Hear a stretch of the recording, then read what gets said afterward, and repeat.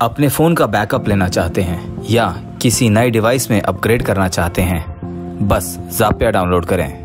जापिया पर फ़ोन प्रतिकृति सुविधाएँ आपके डिवाइस पर सभी फाइलों को अपलोड करना आसान बनाती है। फ़ोन प्रतिकृति सुविधा का उपयोग करने के लिए दोनों उपकरणों पर जापिया खोलें और फिर स्क्रीन के नीचे ट्रांसफ़र आइकन पर क्लिक करें। अगला कनेक्ट टू शेयर स्क्रीन पर फ़ोन प्रतिकृति आइकन पर क्लिक करें।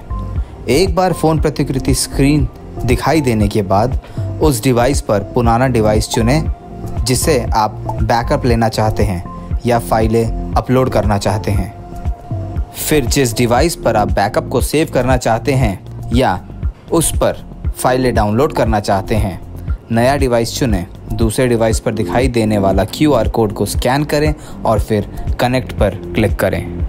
एक बार डिवाइस कनेक्ट हो जाने के बाद आप नए डिवाइस पर उस सामग्री का चयन कर सकते हैं, जिसे आप डाउनलोड करना चाहते हैं या बैकअप लेना चाहते हैं।